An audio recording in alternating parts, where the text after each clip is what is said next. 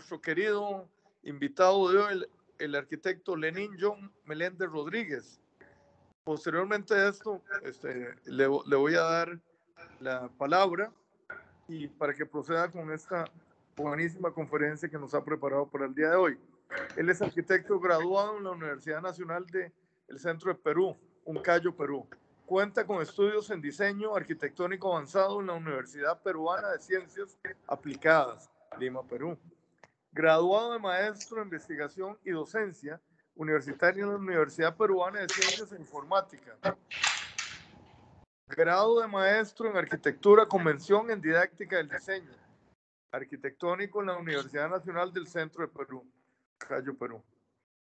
Doctorado en ciencias de la educación de la Universidad Nacional Jorge Basadre Groman. Además ha ejercido la docencia en arquitectura en cinco universidades del Perú y actualmente es catedrático en varias de ellas, Escuela de Arquitectura Universidad Andina, Facultad de Arquitectura y Urbanismo de la Universidad Privada de Tacna, Facultad de Arquitectura de la Universidad Tecnológica del Perú, miembro fundador de Tectónica, equipo con el cual obtuvieron distinciones en diversos concursos de arquitectura a nivel regional y nacional. Miembro del equipo ARCA, Perú, libros publicados, la ordenación del espacio arquitectura, arquitectura, investigación y ensayo proyectual. Finalmente, su trayectoria profesional incluye ponencias en universidades del Perú y publicaciones en revistas de arquitectura. Este es el excelente conferencista que tenemos para el día de hoy. Nuevamente, bienvenidos todos, arquitectos, estudiantes, colegas, repito, y amigos que nos acompañan en la conferencia de hoy. Los dejo en las excelentes manos de nuestro arquitecto invitado, don Lenín. Adelante. Eh, muchas gracias, eh, Abel, por tu presentación. Eh, en primer lugar, eh, agradecer pues a la Universidad Internacional de las Américas, ¿no? Desde su Escuela de Arquitectura, eh, justamente a tu cargo, eh, Abel, ¿no? Muchísimas gracias por, por la invitación. También agradecer de manera muy especial a Luis Alberto, ¿no? Por haberme extendido esta invitación. teníamos mucho contacto de manera quizás visual a través de las redes, ¿no? Y, y, eso pues posibilitó también esta pequeña conexión. Y, muchas gracias a todos los que, los que se encuentran el día de hoy conectados, ¿no? dando un poco de, tiempo para, para, para, hacer esta reunión un poquito más grande de, de lo que esperábamos. Eh, para mí todo un gusto poder eh, compartir eh, un poco de, de, lo que uno a veces hace. Ok, bien, muchas gracias a todos y nada, he estructurado esta digamos, este catálogo de imágenes eh, eh, en dos momentos, ¿no? Eh, un poco el reconocimiento de, una cultura arquitectónica, porque es un pilar fundamental, ¿no? yo creo que mm, estamos en esta lucha constante de que hay algún grupo que, que piensa que un arquitecto nace sabiendo, ¿no? E inclusive se escuchaban algunas frases, ¿no? Como como que un arquitecto nace y no se hace. ¿no? Y, entonces eso ha, encapsulado algunas creencias, como, como las estas de que un arquitecto hace de la nada, ¿no? y, si hace distinto es mejor. ¿no? Y, hasta cierto punto eh, se ha querido ir contracorriente, eh, incluso castigando o malentendiendo, ¿no? sancionando el hecho de que un arquitecto o un estudiante de arquitectura pueda tener referentes, pueda tener maestros de donde se pueda soportar, porque la idea no es inventar nada, ¿no? Sisa, eh, este arquitecto portugués, eh, digamos, finiquita una frase indicando que ya en la arquitectura no se va a inventar nada, ¿no? Lo que se puede hacer es transformar. Eh, y de igual manera Sarkis, un arquitecto argentino, eh, habla de que eh, solamente nos quedan tres posiciones el día de hoy en la arquitectura.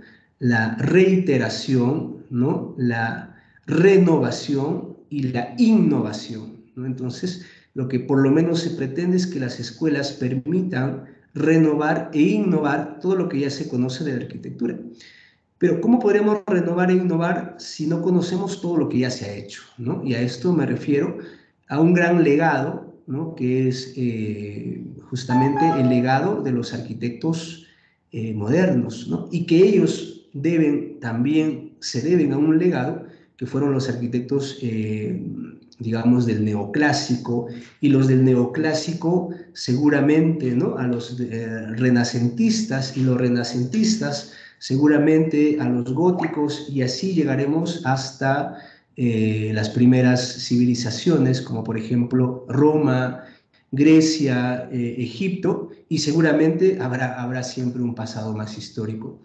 Eh, y, posiblemente sea esta ¿no? una de las primeras intenciones relacionadas a la arquitectura, que es, por ejemplo, este tótem, ¿no? y que producto de esto, más su configuración de los menires, el hombre, eh, eh, eh, visto su, existencia en un terreno tan maravilloso y natural, empieza a gestar la arquitectura. ¿no?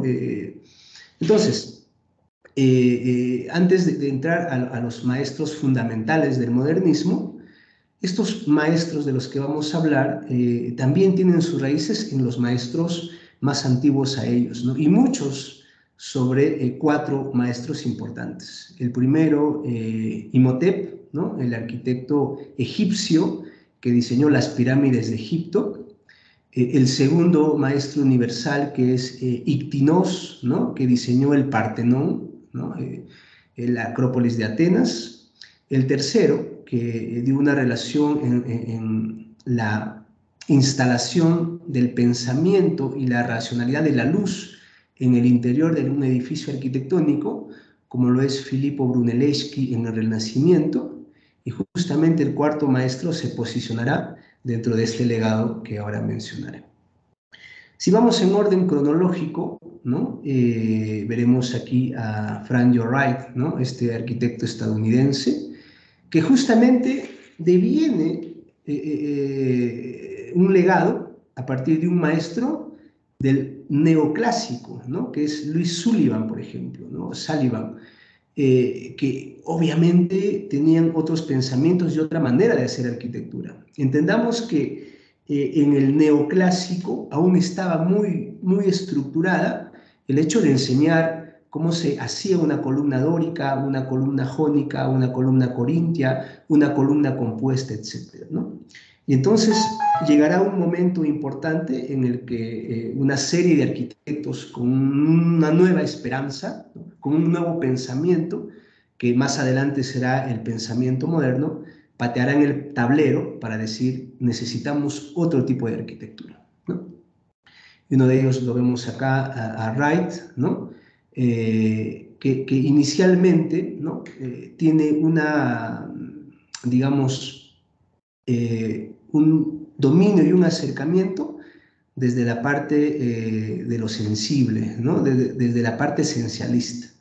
Cabe señalar que es muy importante que un arquitecto también tienda sus bases sobre eh, artistas, pintores, escultores, literatos, porque justamente es en esas corrientes de los movimientos de las grandes artes que uno va construyendo un pensamiento de forma de vida. ¿no? El pensamiento de forma de vida eh, de Wright justamente era un pensamiento orgánico, ¿no? Eh, de, no mucha sobrepoblación, eh, de un gobierno mayor de la naturaleza, ¿no? incluso de sus formas orgánicas. Aquí vemos una, una de las tipologías de ciudades que pensaba que cómo deberían ser estas ciudades Wright, ¿no? Se, se puede ver una horizontal muy bien controlada, ¿no? con grandes campos agrícolas, eh, verdes, eh, em, naturaleza, y claro, siempre por ahí uno que otro edificio vertical. ¿no?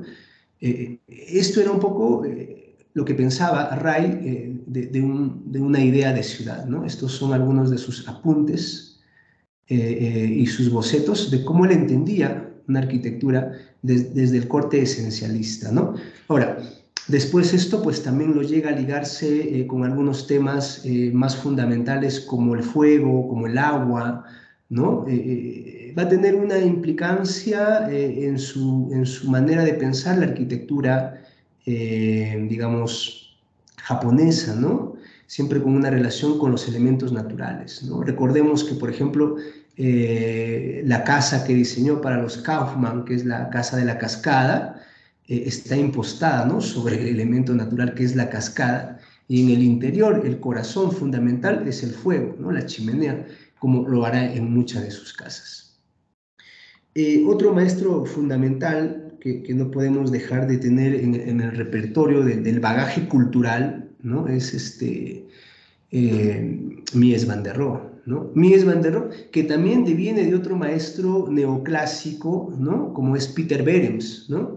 Eh, Peter Behrens fue un arquitecto casi contemporáneo con Sullivan, el maestro de Wright, que efectivamente hacían eh, una arquitectura que el día de hoy pues ya, no pertenecen a esta época, ¿no? Con, un poco con, los frontones, con, las balaustradas, ¿no? Eh, con los retablos, con la intención de los arquetipos muy establecidos en ese entonces. Esta relación con, Peter Behrens y Mies le da también una base, ¿no? Pero al igual que Wright, Mies construirá una nueva manera de hacer, ¿no? Y esto es una garantía porque también hay, hay un, una especie de creencia, ¿no? De que, oye, no veas referentes porque estás cortando tu creatividad, ¿no? No veas a, a Mies porque tienes que ser tú, ¿no? Y, y, no vas a ser otro Mies. Y eso no sucedió con ellos, ¿no? Por ejemplo, eh, Mies, que vio muchísimo a Peter Behrens, nunca hizo la arquitectura que, que hizo Peter Behrens, sino la evolucionó, la transformó y la innovó. Igual Ray, ¿no? Por ejemplo, con Sullivan. Y vemos acá, en esta maqueta hermosísima, cómo Mies traduce los preceptos ¿no? de, de, de, la arquitectura clásica antigua, pero con un nuevo pensamiento, ¿no? con una idea de hacer mejor, con una idea también ¿no? de limpieza, eh, de livianidad y de, algunos sentimientos que la arquitectura empezará a tener a partir de ahora. Eh, eso, citando también de manera importante este edificio, ¿no? este primer rascacielos, que hace eh, Mies, ¿no? Y que para ese entonces era pues una arquitectura nu nunca antes vista, ¿no? Situémonos en el contexto de que normalmente por la ciudad eh, habían edificios como, como el Partenón, ¿no? Con estos arquetipos de basas, de, de columnatas, de frontones, ¿no? Eh, y de pronto aparece este edificio completamente limpio, con las nuevas tecnologías que instaura un nuevo aire, ¿no? un nuevo respiro.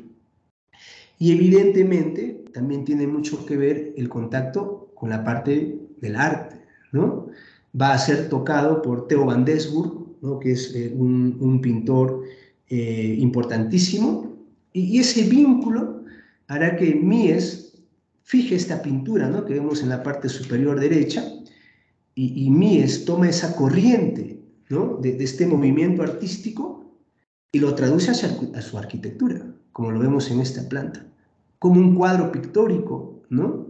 Después, bajo un pensamiento, bajo un movimiento de la mente, Mies empieza a producir lo que ya había dejado un granito de arena eh, Wright, la explosión de la caja, ¿no?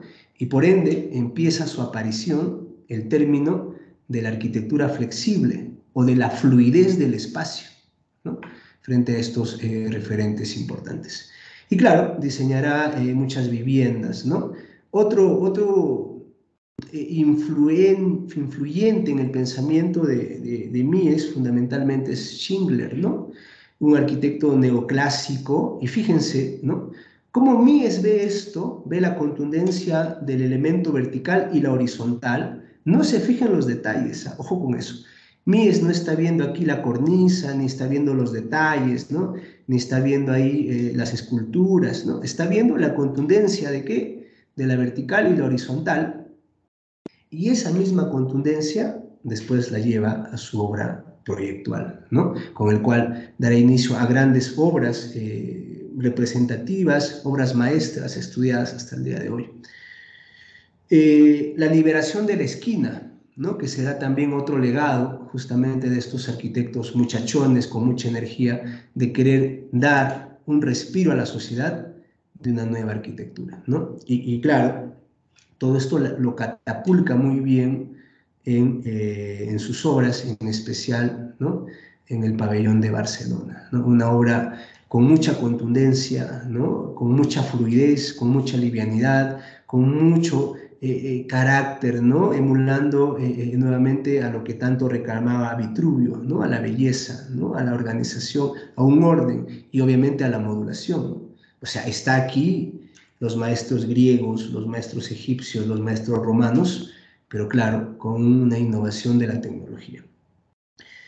Todos ellos a la vez influencian mucho a, otro legado de arquitectos, ¿no? como lo es Barragán, por ejemplo. ¿no? Fíjense aquí la relación que va a existir entre, entre Mies, que trabaja unos planos verticales eh, muy pulcros, muy sobrios, muy esbeltos, y claro, Barragán ve eh, mucho a Mies, ¿no? pero no hace lo que hace Mies, sino le agrega, por ejemplo, la cuota del color, la cuota de lo que hoy en día se conoce como eh, la arquitectura sensorial, ¿no?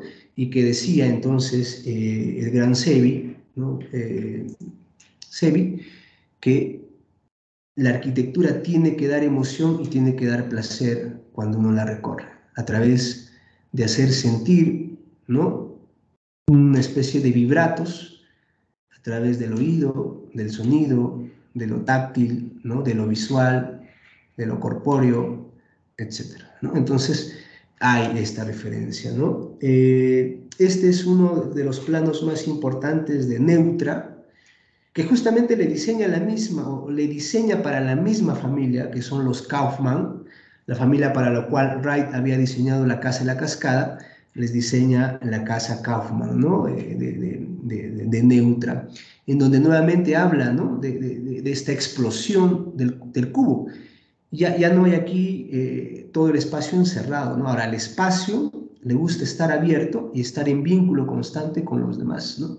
Y nuevamente se habla de, esta intención del espacio. Ya no vemos aquí cajas ni, ni, ni, espacios cerrados por cuatro paredes, ¿no?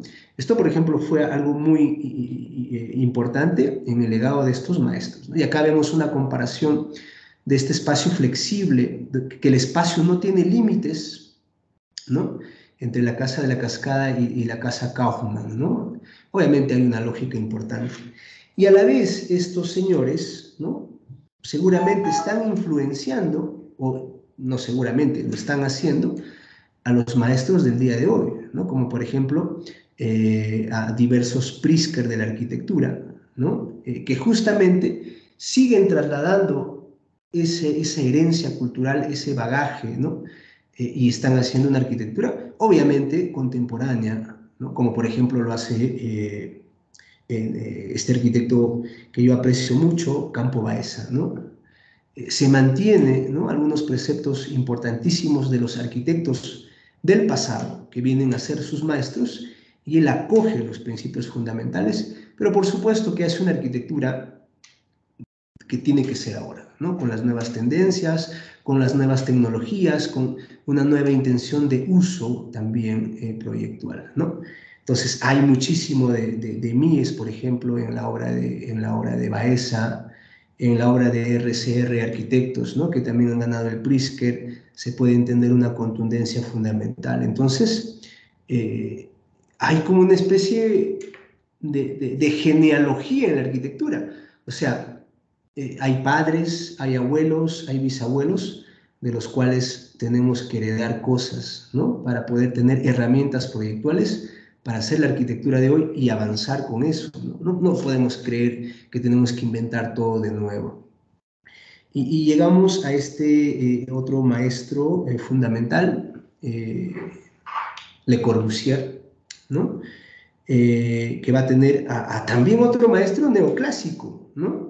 que es eh, Auguste Perret, ¿no? Eh, este arquitecto que, que, mm, empieza queriendo ser eh, igual que su padre, ¿no? Un grabador de relojes, pero después le descubren que, tenía problemas de visión, por lo cual lo trasladan a otra área, conoce a Le Platenier, Le Platenier lo educa y lo forma y le dice, ya estás, ahora ándate a buscar a eh, Auguste Perret, eh, Auguste Perret para ese entonces, ¿no? Estamos hablando un poco eh, de la escuela de Chicago, ¿no? Auguste Perret, junto con, con, otros, era un arquitecto importantísimo y, y, Le Corbusier va a tocar la puerta y, y lo recibe, ¿no? Pero, pero hasta ahí, eh, efectivamente, tenía trabajos, eh, Le Platinier le había conseguido muchos clientes, pero la arquitectura de Le Corbusier eh, aún no era visible, ¿no? Era me meramente funcional,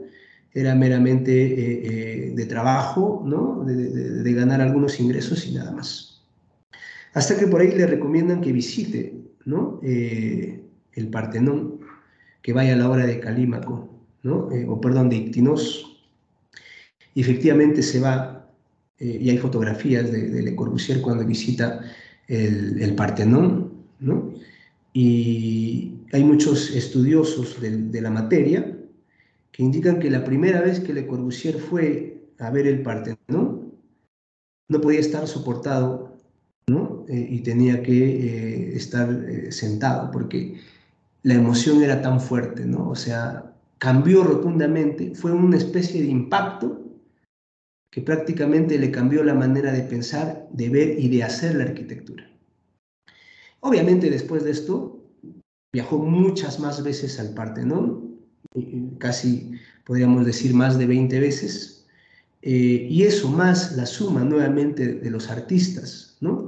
Eh, que fueron fundamentales en él, pudo concebir la arquitectura de la que hoy, hoy hablamos, ya que es además considerado el padre de la arquitectura moderna, es un referente a nivel mundial, y claro, como conversábamos un poco con, con Abel y con Luis, también tiene la otra parte, ¿no? O sea, un, arquitecto siempre va a tener eh, la gente que apuesta por él y la gente que no, ¿no? Es polémico, eso es natural eh, cuando uno hace algo, no solo en la arquitectura, sino por la humanidad incluso, ¿no?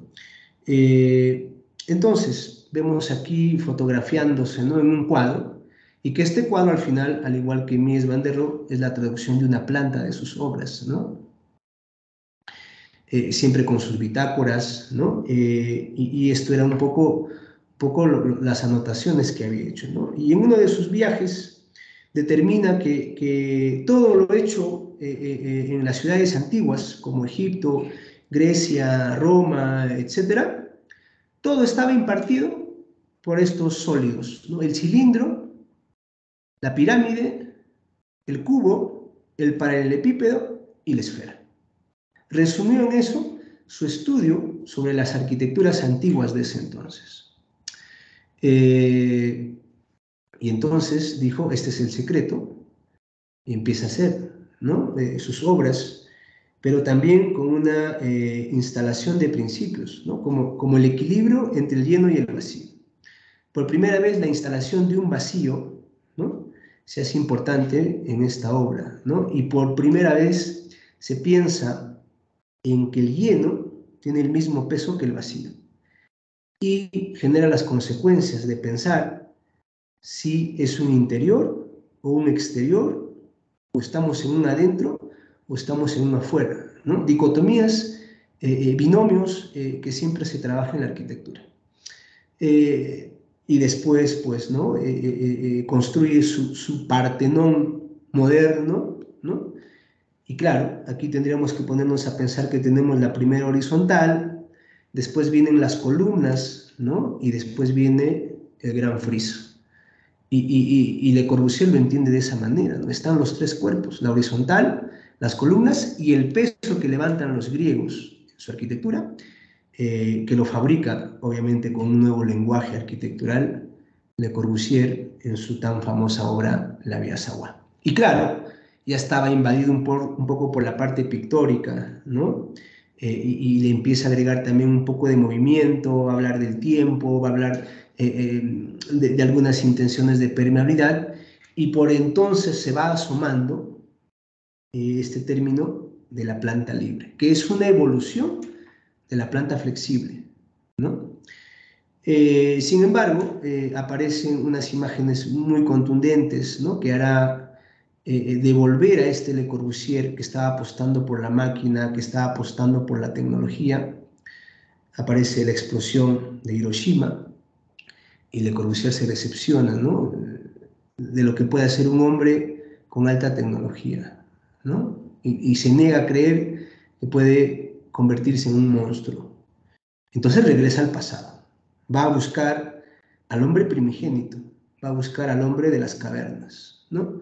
Y podemos ver en esta atmósfera de, de Roncham que, tiene este aspecto, ¿no? Como de cueva, ¿no? Eh, como de caverna, eh, en donde instaurará eh, su nuevo episodio arquitectónico. Algo que fue interesante en Le Corbusier fue que fue un arquitecto que se reinventaba constantemente, ¿no? O sea, ustedes pueden eh, hacer un catálogo con las obras de Le Corbusier y van a ver que, que pareciese que son obras de diversos arquitectos, ¿no? Pero justamente ese es un valor interesantísimo eh, en el legado que deja Le Corbusier. Y la parte pictórica, ¿no? Eh, deja los cuatro modos de componer, deja los cinco puntos de la arquitectura, deja los seis sentimientos de la modernidad, deja instaurado el espacio-tiempo, deja instaurado la promenade arquitectónica, deja instaurado diversas cosas, ¿no? Que no conocerlos y no practicarlos en tiempos de hoy creo que sería un error, ¿no? Después pasamos a un, cuarto maestro, ¿no? Álvar Alto, eh, eh, y Álvar Alto que, justamente le sumará esa cuota ¿no? de una sensibilidad ¿no? por la naturaleza, por las texturas, ¿no?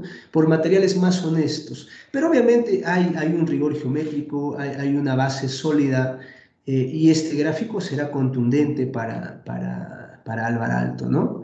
Empieza dibujando este cubo y dice, muy bien, esta es la representación del hombre en el planeta, ¿no? la línea recta, la forma pura, ¿no? Eh, la convicción de un volumen platónico. Pero ¿qué pasa si tratamos de mimetizarnos ¿no? con la naturaleza, hasta tal punto de perdernos y parecer igual como si fuéramos de la arquitectura divina?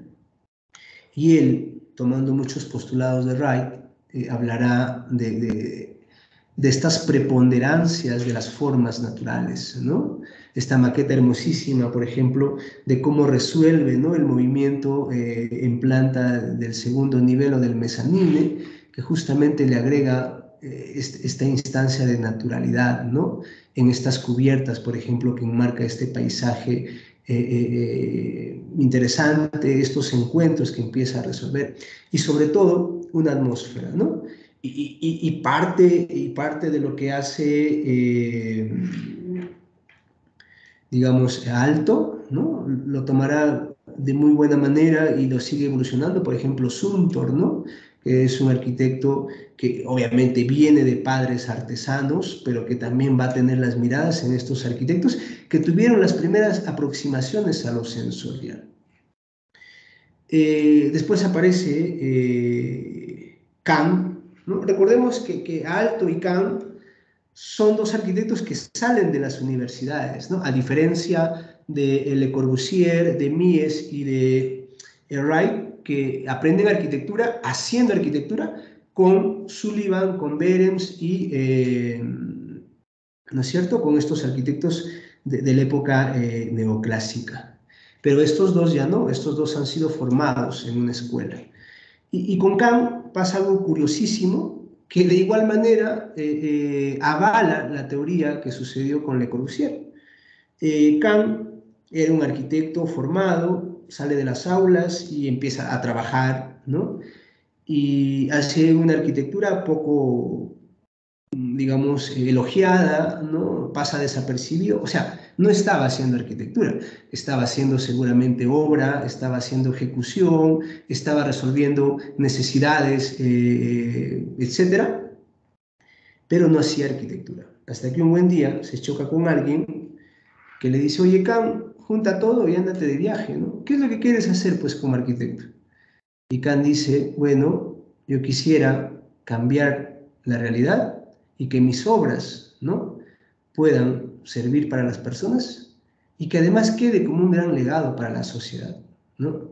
Así como lo hacía eh, los egipcios, los griegos y los romanos, ¿no? Y alguien lo escuchó atentamente, ah, si quieres hacer eso, pues anda ya, viaja y descubre qué tienen esas arquitecturas que hasta el día de hoy se mantienen, efectivamente, eh, Kant toma a los 50 años, o sea, eh, ya maduro y todo, ¿no? Eh, ya con cosas formadas, en fin, agarra su equipaje y se va de viaje por todas las ciudades antiguas, ¿no? Y estas imágenes son un poco de los bocetos que hace, que hace Kant en sus viajes, ¿no? Le impacta muchísimo Roma, le impacta muchísimo eh, las ciudades europeas antiguas, ¿no? y se va a dar cuenta que lo más importante es lo pétreo, lo duro, la masa, ¿no? Él va a entender que lo que predomina en estas arquitecturas es lo estereotómico, ¿no? La contundencia.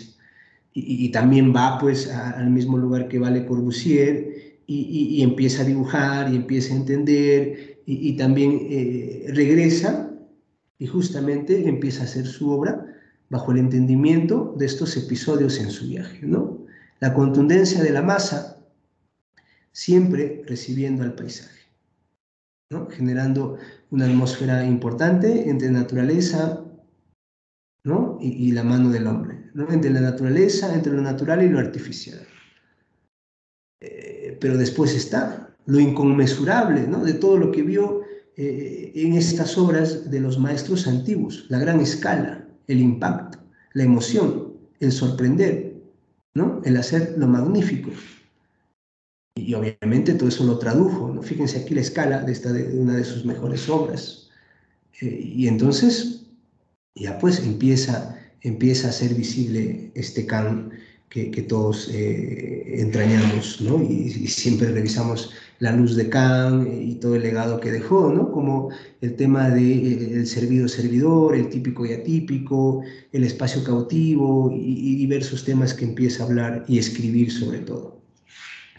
Después de pasar por estos cinco maestros, eh, y como parte ya entrando al segundo, al, segundo momento de la charla, quería mostrar un poco, eh, además de, la influencia de tener maestros y de tener un legado y de tener referentes y de tener herencias, eh, la relación constantemente con algo imposible, ¿no?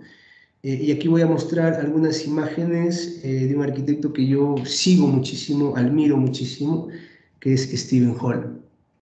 Y que Stephen Hall, que es un arquitecto con mucho bagaje cultural tectónico, que tiene muchos maestros, ¿no? que tiene muchas referencias importantes, también constantemente revisa y se estimula bajo obras utópicas, ¿no? como esta de acá, por ejemplo, ¿no? que es una especie de, de, de paralelepípedos que van construyéndose eh, por giros a 90 grados y van queriendo hacer una ciudad. Esta, por ejemplo, es una imagen utópica de algún artista, o esta de acá, por ejemplo, que de pronto aparece y, Steven siempre, eh, eh, digamos, con la lógica de querer hacer posible, ¿no? parte de estas lógicas para hacer la arquitectura que hace el día de hoy Stephen Hall. ¿no? Me parece a mí uno de, los referentes importantes, eh, obviamente entendiendo que Renculas, ¿no? que también es discípulo eh, de Le Corbusier, eh, hacen este tipo de arquitectura experimental, ¿no? una arquitectura que lucha contra la gravedad, que, esperanza del proyecto es emocionar con el espacio interior y exterior. ¿no? Y, entonces es posible, ¿no? Es posible que, que, Stephen Hall haya llevado a su arquitectura estas cosas utópicas, ¿no? Porque pienso que algo de eso es ser arquitecto. Ser arquitecto es querer regalar un mundo ideal, nunca antes visto, para vivir mejor, ¿no? Ser arquitecto es ofrecer dignidad, eh, dar emoción, dar placer, eh, dar libertad a través de ocupar un objeto arquitectónico. Eh, y entonces me parece a mí fundamental también hablar de este maestro como un gran legado dentro de esta cultura tectónica. Además de estos maestros, Kenneth Frampton es otro arquitecto bastante teórico y crítico que deberíamos de, seguir muchísimo, ¿no? al igual que ya el mencionado Stephen Hall, que ya el mencionado Peter Sumter, y después hay un portugués buenísimo, ¿no? que es Eduardo Soto de Moura, que también conlleva una carga de un bagaje cultural amplísimo en su obra. Y eh, por último, eh, este brasileño, eh, también buenísimo, Paulo Méndez de Rocha. ¿no? Creo que serían los arquitectos que si ustedes revisan su obra, van a encontrar mucho bagaje cultural. ¿no? hay mucho conocimiento de, la actualidad, de la contemporaneidad, de la modernidad y, y, época, de la época un poco más antigua. Con esto eh, paso al segundo momento, ¿no? que es eh, mostrar eh, algunos proyectos académicos realizados bajo la guía de un maestro, ¿no? que es el arquitecto Enrique Siriani Suito. él, antes de la pandemia, dictaba algunos cursos de posgrado, de los cuales tuve pues el digamos, la suerte de pertenecer, ¿no? Y, en cada taller se iban fabricando algunos proyectos, eh, todos productos de este pensamiento que, que diserté en, el primer cuerpo de esta, de esta conferencia, ¿no? Eh, entonces vamos a, he seleccionado un par de proyectos que son proyectos eh, que llevan una lógica de un pensamiento moderno y que son posibles de hacerlo. Eh, todos se encuentran en Perú, son situaciones reales, es un contexto real y, es un intento de querer mejorar eh, nuestro territorio a partir de un pensamiento moderno. E, este primer proyecto se titula eh, La Onda de Lima o Lima la Onda, ¿no? y entonces, visto que teníamos que enfrentar el bicentenario en nuestro país. Eh, la cátedra, ¿no? liderada por, por el maestro Siriani, eh, junto con todo el equipo que formamos, eh, quisimos hacer un proyecto para homenajear ¿no? y regalar a Lima un proyecto por el bicentenario, que podría convertirse en una imagen que pueda dar esperanza, ¿no? que pueda ser mejor, que pueda ser posible arquitectura. Entonces buscamos eh, un espacio centralizado, eh, que es eh, casi el centro de Lima, por esta alameda, que, nadie la usa porque se están dando cuenta que hay un cordón umbilical que lo protege de, de, un alto tránsito, o sea, casi querer cruzar esta, esta alameda es como un acto suicida porque los carros van a toda velocidad, eh, después tenemos aledaño al el Palacio de Justicia, tenemos el centro cívico, tenemos un gran parque. Y este es un territorio eh, bastante dañado. Hacia la derecha vemos que eh, se ha instaurado todo un proceso de degradación de la vivienda. la gente vive mal, vive pésimo, vive tuburizado. Hacia la parte superior de igual manera. ¿no? Entonces era un poco hacer un ensayo de cómo recuperar este sector ¿no? y cómo eh, hacerlo importante desde algunas herramientas proyectuales que puedan ser usadas. ¿no? El elemento más fundamental es nuestra institución, el Poder de Justicia, que vemos en pantallas, y aquí está esta Alameda, ¿no? que les comentaba que, casi nadie la usa porque es difícil cruzar este, este circuito que, que la rodea. Vemos aquí un día normal, ¿no? hay gente porque además está cercado, ¿no? Es un gran problema con, los espacios públicos normalmente. Y es un poco esta imagen, ¿no? Eh, es la situación real. Eh, hacia acá ya podemos ver eh, que hay problemas de ocupación, ¿no? Hay tuburización, hay edificios con mucha carga histórica que deberían ser nuevamente revalorados. Entonces pensamos en recuperar este sector. Algo importante que mencionar es que por debajo de este territorio pasa el metropolitano, ¿no? que es el transporte público más grande eh, que tenemos en la capital. Eh, viene la lógica de hundir, ¿no? Eh, para hacer algo importante. ¿no? O sea, es una lógica distinta a la que utiliza la, Acrópolis de Atenas, que la Acrópolis utiliza levantar, ¿no? generar un podio. En este caso nos aproximamos a hundir, ¿no? para generar una intención de balcón. ¿Eso por qué? Porque nuestra capital, que es Lima, tiene un privilegio que es ver el mar en balcón. ¿no? O sea, la ciudad está y metros más abajo contempla el mar. Y esa fue una de las primeras premisas que se quiso trabajar, devenidas de la territorialidad. ¿no? Vemos aquí eh, lo que les hablaba un poco, siempre hay un análisis de algunos legados como el Partenón, la planta flexible de Mies Van der Rohe, la planta libre de Le Corbusier. Entonces empezamos a, dotar de cosas importantes desde nuestro pensamiento moderno que podrían eh, hacer mejor este sector. ¿no? Eh, pensamos que hundiendo, o sea, quitando materia, podríamos instalar nuevos programas de arquitectura que puedan ser necesarios en unos tiempos actuales. ¿no? El metropolitano debería de seguir su paso. Creemos conveniente también construir algunas tipologías de viviendas verticales que justamente van a acompañar a esta pieza fundamental que es el poder de justicia. ¿no? Y, en este, eh, digamos, sector prolongado de la Alameda, generar un nuevo vacío. ¿no? El vacío siempre ha sido un pensamiento constante en la cátedra eh, que, se, daba con el arquitecto maestro Siriani, ¿no? el hecho de, hacer equilibrado el lleno y el vacío, ¿no? la ausencia y la presencia. Eh, este es un corte ¿no? que ya eh, prefijaba el hecho de bajar 20 metros y ver cómo podía ser este nuevo vacío, ¿no? este nuevo horadado.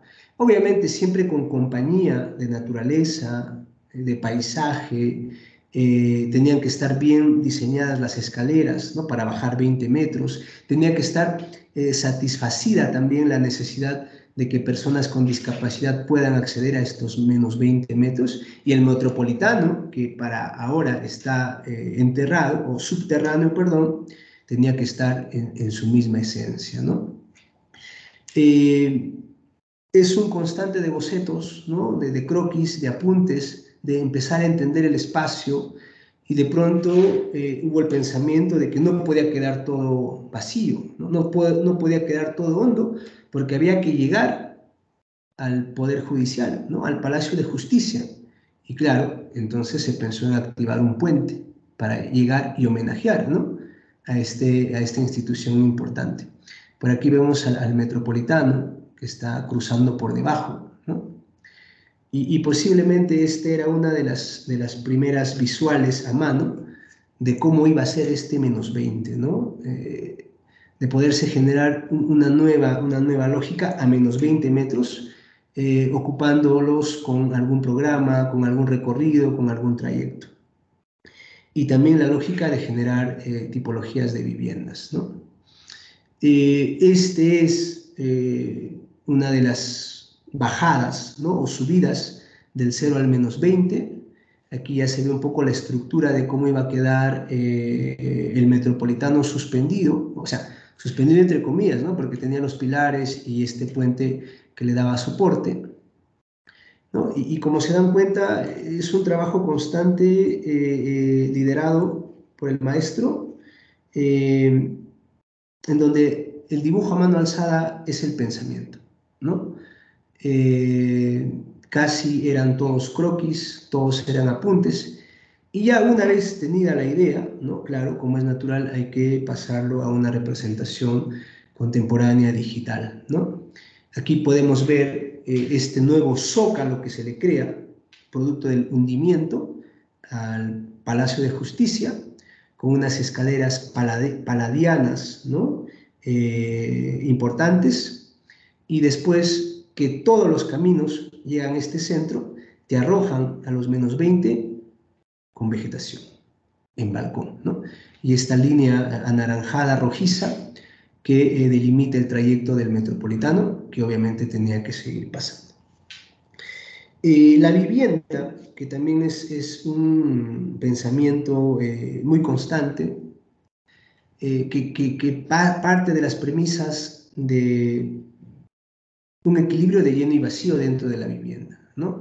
de generar espacialidades. ¿no? En este caso trabajamos la tipología triplex, ¿no? Eh, a diferencia de la duplex, que tiene el valor de tener dos dobles alturas entrecruzadas, ¿no? Y, producto de la tipología triplex, se empiezan a hacer los apilonamientos estratégicos para tener estas torres, ¿no? De siete triplex, estamos hablando de 21 pisos, ¿no? Y, cada triplex tiene un jardín.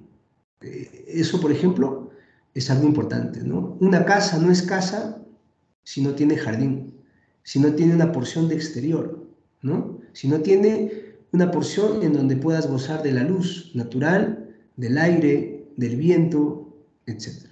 Y, la pandemia, obviamente, ha reforzado estas preocupaciones en la vivienda.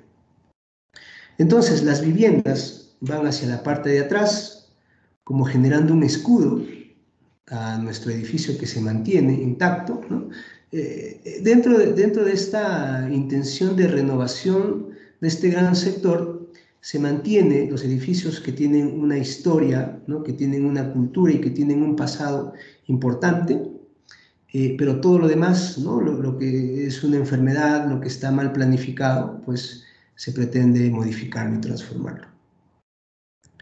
Eh, y entonces, eh, parte de esta alameda que nadie la utiliza actualmente, baja a menos 20 y se genera ahí un espejo de agua, ¿no?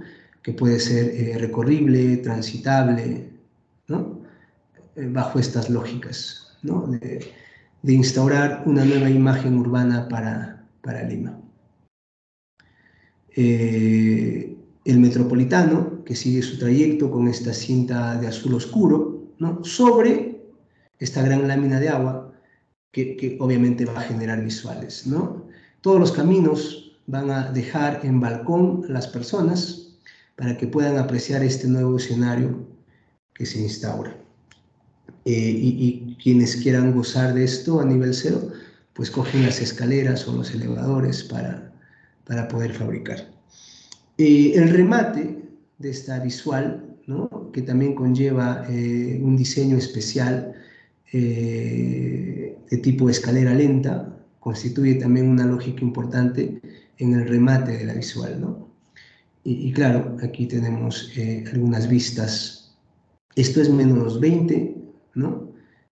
más la pieza del metropolitano y esta nueva generación de lógicas que se van construyendo. ¿no? Esto podría ser un día quizás festivo o, de domingo, que se pueda generar esta lógica. Entonces eh, pasa algo fundamental, que, los bocetos y los croquis hasta cierto punto siguen siendo más interesantes que el propio render, ¿no? porque está hecho a mano, porque está hecho pensado, porque está hecho con ánimos de hacer mejor para la gente. Eh, empiezan a aparecer aquí algunas vistas de, cómo sería este territorio ahora impostado, ¿no? Ahora impostado eh, ya con, esta onda de Lima, ¿no? Eh, y claro, pudiéndose convertirse en un nuevo escenario, ¿no? completamente distinto, eh, este puente, ¿no? que, es el único que se mantiene para llegar al, Palacio de Justicia, más, toda la carga histórica, pero también con los nuevos elementos que, que, se, que se, les da a, esta nueva imagen que se piensa en el taller. Muy bien, entonces eh, eh, de esta pasamos a, una penúltima ensayo proyectual eh, en el taller eh, del siguiente año nos propusimos diseñar una facultad de arquitectura, ¿no? Obviamente también en la capital y, no había mejor eh, espacio que hacerlo frente al mar, ¿no? en, uno de los distritos de Lima, ¿no? y entonces este es el primer croquis que se hace de un pensamiento de cómo dentro de la ciudad, un edificio que tiene como función formarte como arquitecto, te podría dar unas primeras lecciones de qué es ser arquitecto, ¿no? es un poco el pensamiento con el que se construye eh, este, este otro ensayo eh, o ejercicio proyectual. E, esto era la lógica inicial que contaba de, por qué vemos en balcón el mar, ¿no? o sea, el territorio limeño termina acá y más de 20 metros hacia abajo, muchos más, está eh, el mar. ¿no? Entonces empiezan a aparecer igual una intención de dibujos, de croquis, de apuntes, de bocetos, de cómo tenía que ser este espacio tan importante que pueda ayudar a los estudiantes de arquitectura a poder pensar en arquitectura, ¿no? O sea, esa es una pregunta fundamental porque eh, pensamos en ese momento que toda facultad de arquitectura debería estar bien hecha, ¿no? O sea, debería ser la primera lección de arquitectura que tiene un estudiante en su primer día de clases. Eh, se trabajó mucho con la luz y la sombra, ¿no? Eh, se trabajó mucho en corte, eh, porque debía ser una pieza enclavada en este territorio. ¿no? En este territorio que justamente, producto de los farallones, ¿no? construye una topografía natural de donde se observa la ciudad en balcón al mar. ¿no? Entonces, debería ser una pieza que por un lado hacia el plano superior conlleve la lógica geométrica, pero que también regale un bello escenario a puertas de la visual del mar. ¿no? Eh, en este caso, un poco cómo se debería de resolver el enclave con los farallones. ¿no? Como vemos esta maqueta, la pieza tenía que ser muy bien estudiada para que parezca que encontró su lugar cuando se la impone o se la pone sobre el farallón.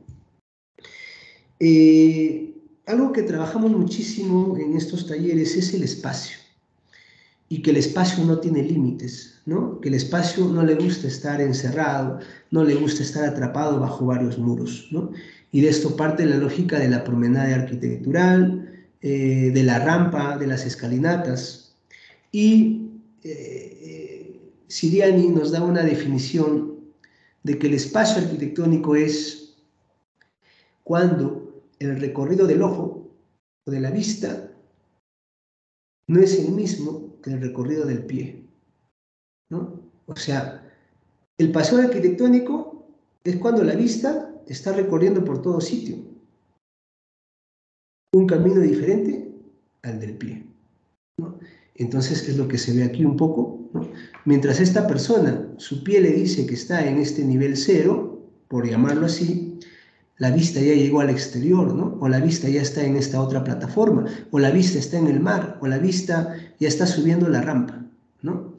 Eh, y entonces, eh, eh, fundados un poco, creo yo, por lo que postula Sevi, el único protagonista de la arquitectura es el espacio, ¿no? se empiezan a proceder a hacer maquetas, hay un pensamiento de la planta libre y de los pilotís, ya que la planta libre no deviene de la definición de que es una planta sin nada, sin cosas, sino que es una planta liberada de ser igual a la planta que tiene encima o la planta que tiene debajo.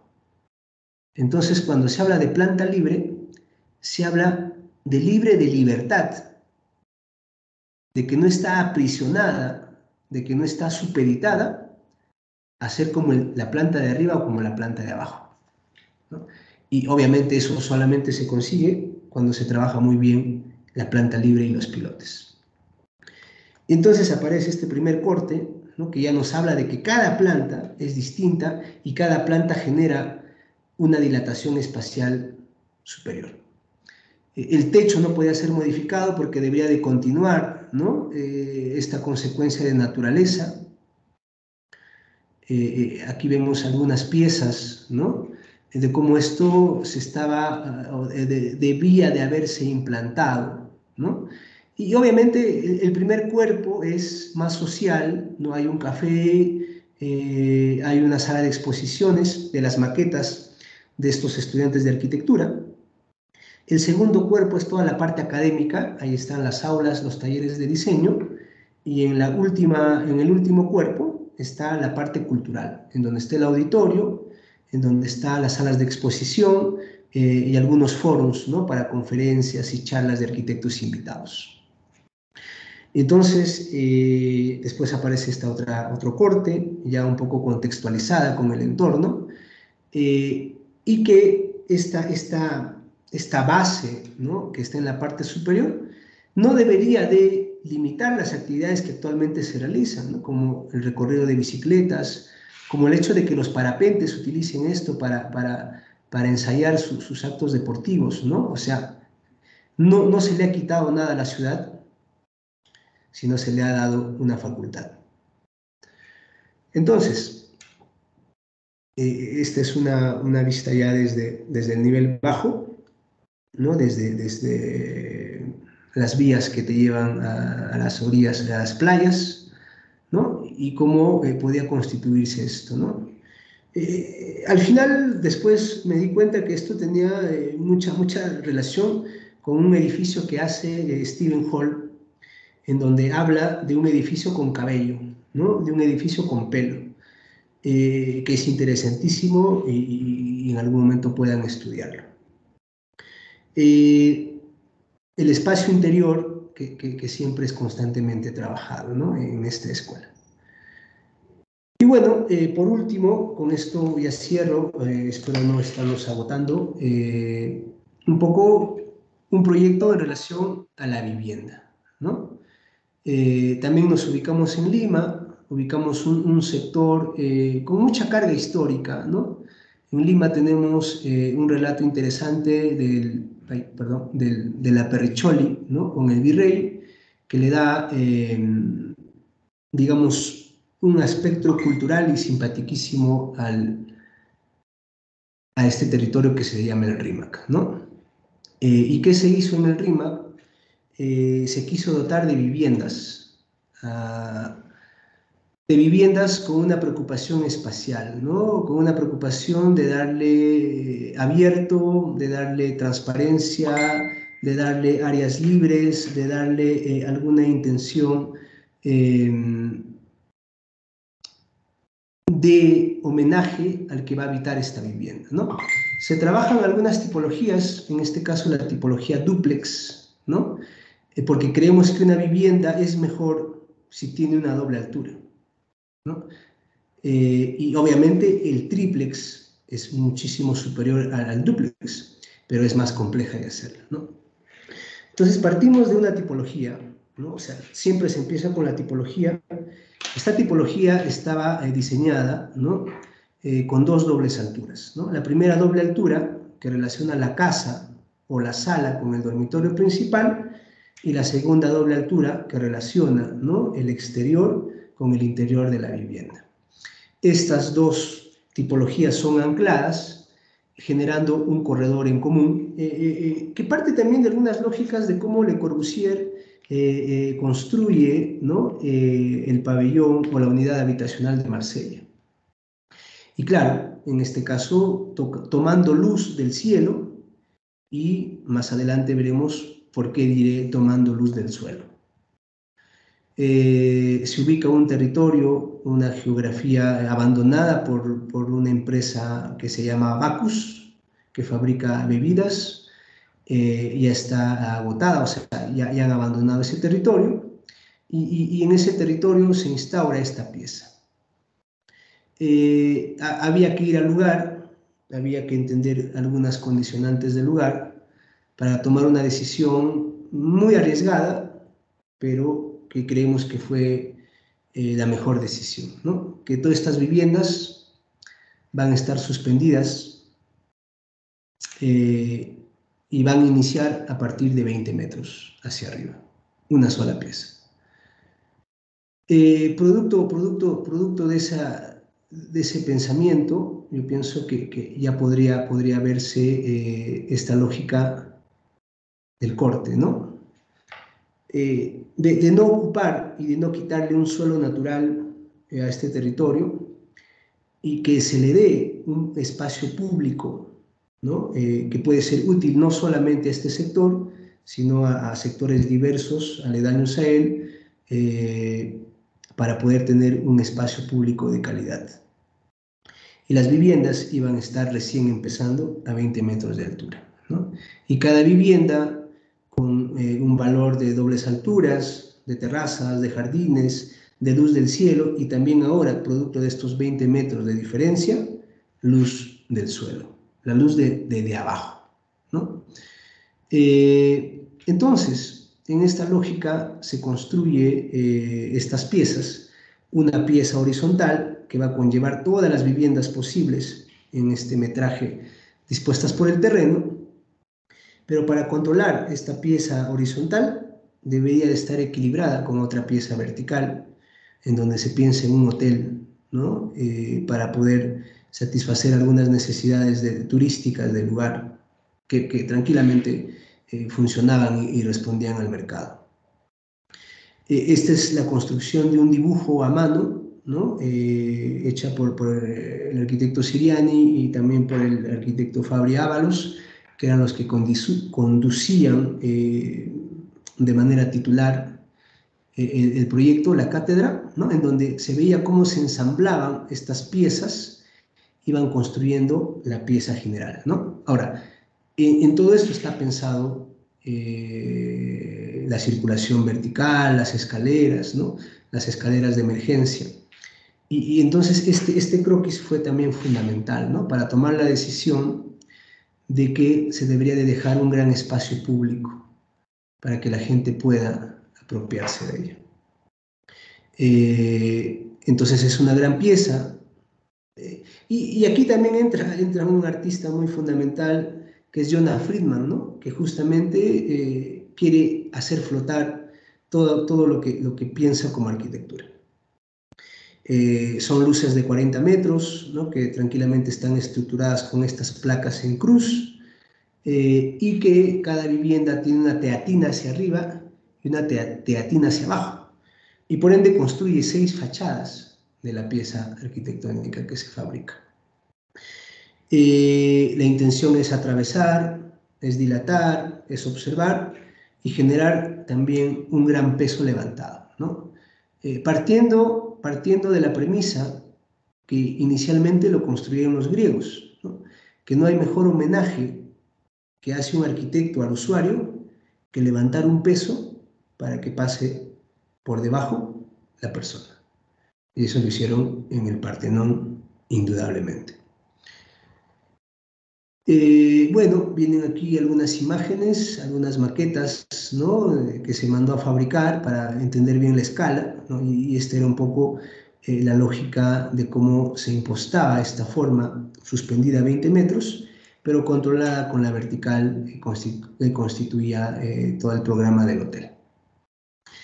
Eh, esto es una vista más o menos como que a 17 o 18 metros de altura. Se ven las teatinas de la sala, ¿no? O sea, alguien puede estar en su sala viendo lo que sucede por debajo, ¿no? De, 20 metros debajo de él. Y este es más 20 metros, ¿no? O sea, este es el piso que divide 20 metros hacia abajo y 20 metros hacia arriba y, naturalmente la lógica cambia, ¿no? Se respira un nuevo ambiente, se respira una nueva imagen, ¿no? Cada uno en su vivienda, bien controlada, bien iluminada, con vegetación, con luz natural, con espacialidades, y se construye un nuevo piso a 20 metros de altura. Pero a 20 metros hacia abajo se sigue construyendo un piso sociable, público, en donde toda la gente puede ingresar a él, ¿no? como un aporte también al desarrollo social y público, que era también una de las premisas de, este aire moderno que se dio a inicios del siglo XIX. Aquí viene un corte ¿no? de cómo funcionan estas piezas, ¿no? y claro que también se hace algunas depresiones y unas gradaciones para que este espacio público sea más dinámico. ¿no? Aquí vemos una imagen eh, ya del todo. Bueno, eh, con eso eh, cierro mi presentación, nuevamente agradeciendo a Abel y a Luis por esta oportunidad y, claro, a cada uno de ustedes que han tenido un espacio de, juntarse el día de hoy. Muchas gracias. Muchas gracias, Lenín. Muchas gracias, así Mientras preparan preguntas, yo quería hacer un, un pequeño comentario. las, las obras que nos presentaste, que me parecen dispositivos arquitectónicos realmente rompedores, elegantes y sumamente sofisticados, cargados de estrategias proyectuales que se, se puede leer, que están extraídas de la tradición disciplinar de la arquitectura y de la manipulación del referente, tal como lo decías al inicio. Estos ejercicios realmente potentes, espero que los estudiantes hayan tomado nota, porque realmente es, es una obra que, que nos inspira a trabajar desde las raíces de la disciplina arquitectónica.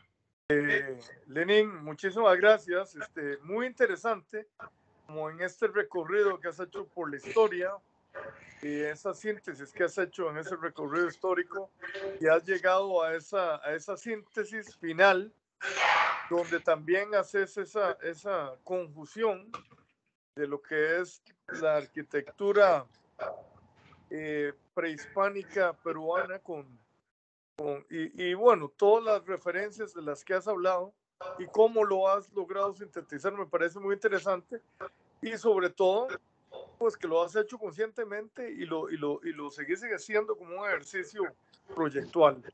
Entonces, eso me parece muy valioso, muy valioso, además muy, muy sincero de tu parte, que lo, que lo expreses así, como tal, muy honesto. Gracias, gracias, gracias Luis.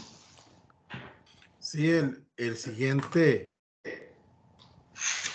comentario mientras salen las preguntas tiene que ver con la riqueza de la charla. Ya, ya comenté las obras. Me parece que cuando te empiezan hablar de los, de los grandes arquitectos, Simotep, Tinos, ¿verdad? Los, los maestros como Sullivan o Berens, y ves obra de Wright, de Mies, de Chinkel, eh, Barragán, Glenn Murcott, Campo Baeza, Alvaralto, Can. De verdad que hay un, un entendimiento de lo que es realmente la, la teoría detrás del diseño, la teoría detrás de las estrategias o herramientas proyectuales de los, de los grandes maestros y cómo lo que hacen es darle continuidad a la disciplina. Mencionaste lo de Kant, que es clarísimo, cuando él viaja a Roma en los años 50, es que realmente explota su arquitectura y empieza sus, sus grandes obras, es el periodo de sus, de sus obras más reconocidas, y todo tiene que ver con el entendimiento de cómo construían, cómo entendían la escala. De hecho, hay un texto de Kant que dice que los romanos pudieron haber hecho las termas a dos metros de altura y no pasaba nada, pero la hicieron a 40 metros porque entendían que a 40 metros el hombre es diferente. Entonces, esa escala que mencionaste en la obra de, de Kant como una de sus referencias está vinculada directamente al trabajo de él mismo de entender e interpretar la arquitectura principalmente de Roma, que era su gran sueño. Y las termas se reflejan en varias obras de las más importantes de Kant a través de, su carrera y, y, bueno, y otras obras en, eh, de famosas de Roma. Dicen que el campo de Marte, la foto aérea, era parte de la decoración de la oficina de Kant y donde él decía que ahí estaban todas las formas de arquitectura que se podían reutilizar. Entonces, me pareció fantástico, aparte de, de, enriquecer la charla con toda esta cantidad de, de grandes maestros y sus vínculos como vincular a Alto con Sumter, a Wright con Alto, ¿verdad? Y otros que ya son, son más conocidos como Perret con Le Corbusier. Y cerrar hablando de Souto de Moura, que me parece un arquitecto fantástico, y Pablo Méndez da Rocha. De verdad que, te agradecemos mucho porque esto fue un, en, en, algo así como una hora, un resumen del pensamiento de la arquitectura moderna que se ha mantenido, que en realidad es, de alguna manera, eh, la reinterpretación del ejercicio disciplinar a través de la historia. En varios de los arquitectos que mencionaste, y, en realidad más que una pregunta, es como una ampliación del tema. Vos mencionaste que había un tema de atmósfera, ¿verdad? Arquitectos como Alvar Alto, que además de, de agregarle sensibilidad a ese rigor geométrico que mencionabas, también le incluía una atmósfera. Eh, de alguna manera, casi todos estos maestros que mencionaste, en su impronta está esa, esa, tal vez, bueno, esa diferencia en la atmósfera, en la concepción del espacio. Y sí me gustaría que nos ampliaras para, para vos, para, para, usted, qué es el término atmósfera en arquitectura. Claro, gracias por, por tu pregunta, Luis. Eh, es, es, un, es, un, tema eh, eh, que hasta cierto punto ¿no? está muy bien vinculado con, con Sumtor, porque él construye además un libro al que le llama Atmósferas. ¿no? Y, y, esto deviene de generar un espacio que ya no solamente sea pues un espectáculo formal, ¿no? o espacial incluso, sino que a la vez eh, este espectáculo, además de, espacial y formal, pueda conllevar eh, elementos que puedan hacer tocarte en los, por lo menos, ¿no?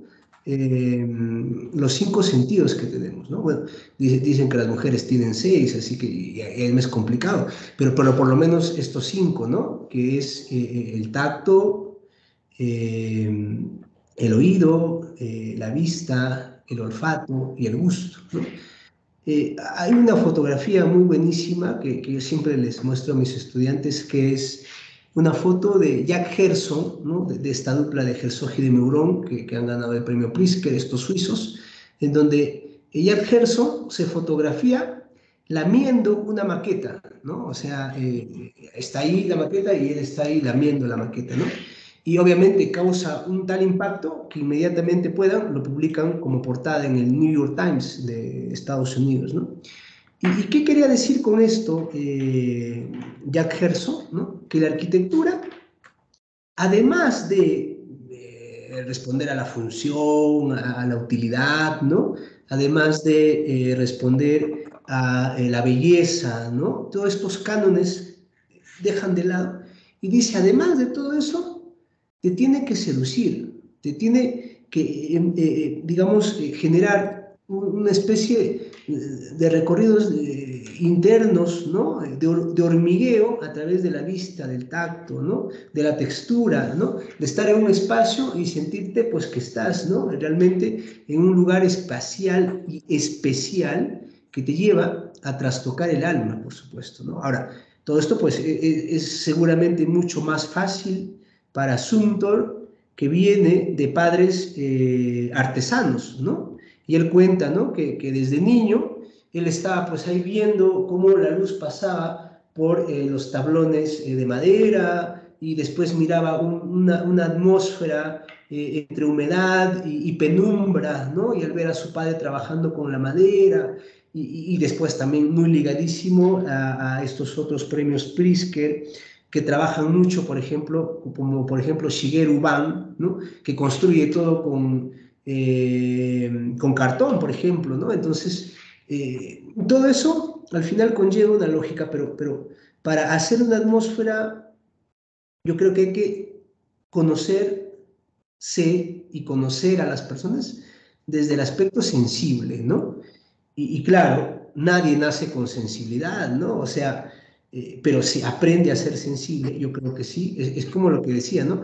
Nadie nace como arquitecto, todos se hacen seguramente, pero y, lo mismo pasa con la sensibilidad, ¿no? Para tú emocionar a alguien, tienes que saber cómo tocas su sensibilidad, ¿no? ¿Cómo lo emocionas? cómo, lo trastocas internamente. Y, obviamente para eso, pues hay que, ya nos dio sed, la vela, ya nos dio sed. Entonces, eh, para hacer eso, pues obviamente hay que conocer, ¿no? Cómo es el cuerpo, qué piensa, qué siente. Eh, y para eso es fundamental los artistas, por ejemplo, ¿no? Los pintores, los escultores, los artesanos, el carpintero, ¿no? El ebanista, el escultor. Eh, y yo, por ejemplo, me, traduciría a lo que hacía la Bauhaus, ¿no? La Bauhaus para recibir, recibir a alguien en sus líneas, la Bauhaus pues liderada por, por Mies y Gropius, venían y decían, ¿tú quieres entrar a la Bauhaus? Sí, muy bien, acá está, toma el metal. les daba su pedazo de metal y le decían, regresas en un año y para que nos cuentes todo lo que has explorado con el metal. ¿no? Y a ti te damos el adobe, y a ti te damos el vidrio, y a ti la piedra, ¿no?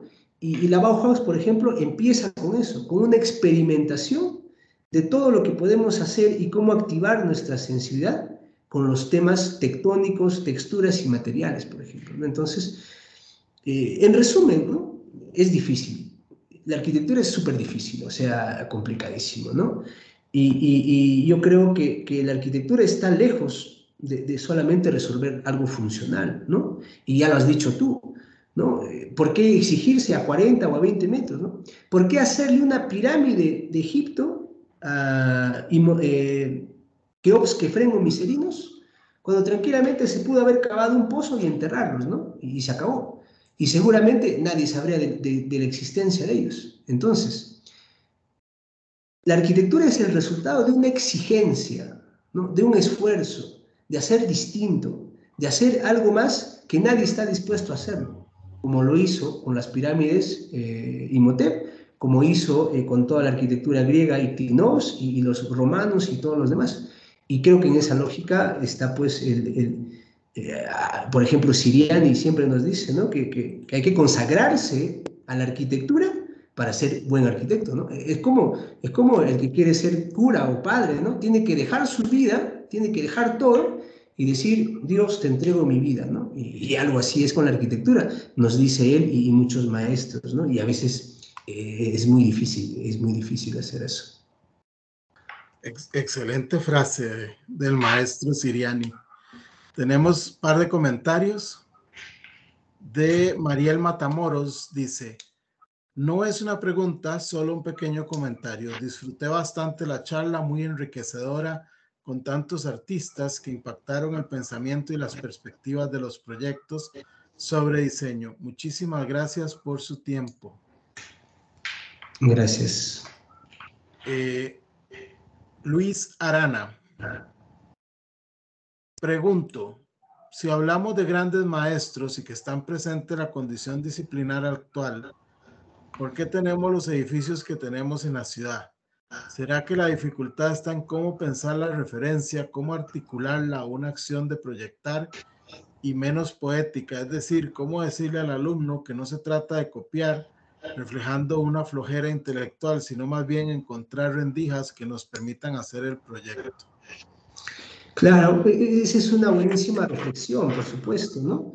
Eh, me hace acordar mucho y, su pregunta me, me, lleva a los, a los Five Architects, ¿no? Eh, donde está, por ejemplo, Meyer, eh, Hendruck, Eisenman, Wadman y, bueno, y el quinto, quinto se me fue por ahora. Pero estos cinco eh, traducen este pensamiento de estos maestros, pero con un avance, ¿no? Y justamente es lo que en algún momento eh, eh, encuentran como, como talón de Aquiles, ¿no? El hecho de que los modernos pues no estaban tomando en cuenta la cultura, no estaban tomando en cuenta el pasado, no estaban tomando en cuenta a la persona, no estaban tomando en cuenta muchas cosas que seguramente son importantes, ¿no? Como, como lo dice eh, Bernard Schumi, ¿no? Eh, contexto, eh, objeto y, pensamiento, ¿no? Entonces, sin embargo, estos five architects, ¿no? Los, cinco de, de América, traducen esa lógica, pero no solamente ven a, a estos maestros, sino también ven a los que han visto a estos maestros. Es como alguien dice, ¿no? Si quieres entender lo que pensaba Le Corbusier, no veas a Le Corbusier, ve lo que ha visto Le Corbusier, ¿no? Eh, eso, por ejemplo, es fundamental. Entonces, primero es tener unas bases pero después también tener un pensamiento utópico. Yo pienso que la utopía es un ingrediente eh, fundamental en el pensamiento de un arquitecto, ¿no? porque justamente la arquitectura es hacer algo distinto, algo transformado, algo innovado, algo no antes visto, pero con unas lógicas de posibilidad. ¿no? Entonces, eh, sí, sí. Y ahora también está el otro cuerpo, ¿no? Hay, hay un centenar, y creo que más, de arquitectos que han terminado haciendo pequeñas vías aguas, ¿no? Eh, por, por, todo el mundo y, y, se han supeditado en pensar que Le Corbusier es la vía agua y, hago la vía agua y ya cumplí, ¿no? Entonces hay muchos que, que se han quedado en solamente una mirada y no en observar y no en entender. Por ejemplo, un, un, gran ejemplo de esto es Renculas, ¿no? Renculas lo primero que hace salido de las aulas es juntarse dinero e irse por todas las, las obras de Le Corbusier. El diario de Renculas ¿no? es el que hace una obra experimental completamente fuera de serie contemporánea. Le ponen eh, el apodo de Le Corbusier contemporáneo, pero avanza todo lo que había dejado Le Corbusier. ¿no? Obviamente revisa sus maestros, revisa muchas cosas, pero, pero es el ejemplo más claro de que el ver a un referente no te obliga a ser como él, ni a pensar como él, ni a limitar una creatividad, ¿no? Entonces, y, y, la lectura, ¿no? Que siempre es fundamental, el viajar, ¿no? Hay, hay dos cosas importantes para un estudiante. Leer y viajar. Y después todo, todo eso. Eh, sumas eh, menos importantes, pero leer y viajar es fundamental. Yo creo que uno aprende más sintiendo la arquitectura eh, que, que viéndola en imagen, por supuesto, ¿no? O sea, pero ah, para eso hay que generar toda un, una organización, como lo hace, por ejemplo, Uruguay, que en los últimos años se viaja por todo el mundo a ver obras de los grandes maestros, ¿no? Eh, con este concepto de la rifa, ¿no? Eh, pero para eso también hay que tener docentes que motiven eso, que, que, motiven el viajar, que motiven el conocer, que motiven el exigir lecturas, ¿no? Y a veces y algo fundamental que el docente tiene que enseñar con el ejemplo.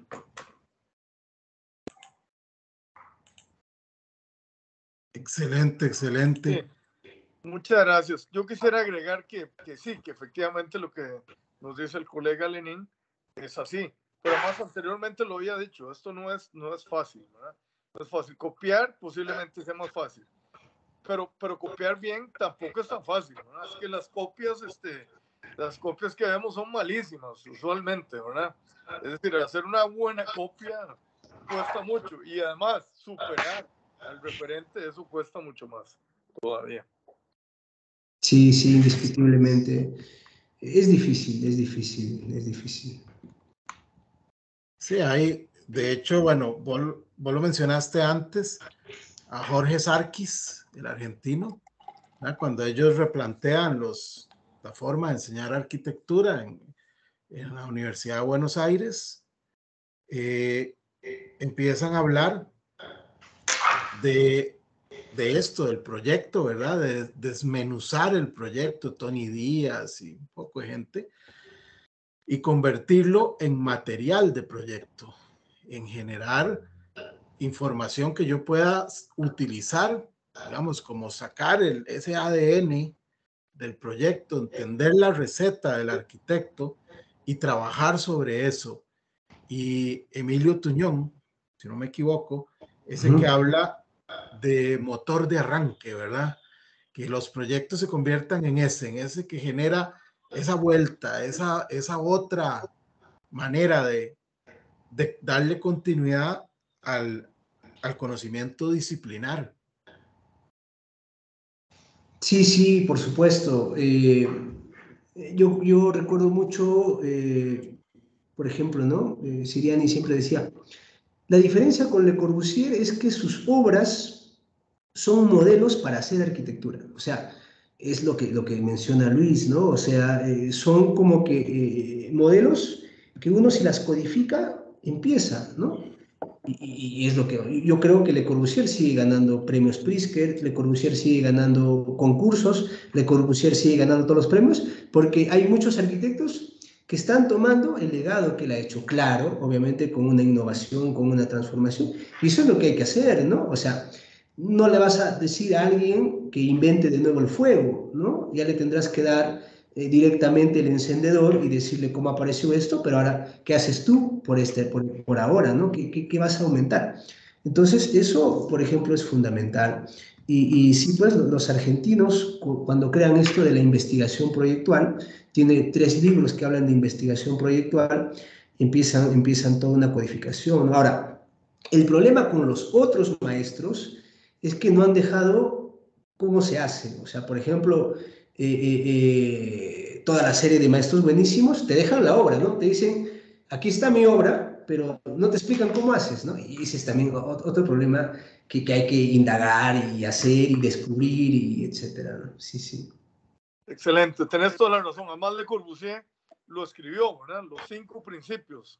Sí, Entonces, sí, este, Sí, lo hizo de una manera didáctica, eso es muy importante. Como 40 libros escribió Le Corbusier para que todos entendiéramos cómo pensaba las obras.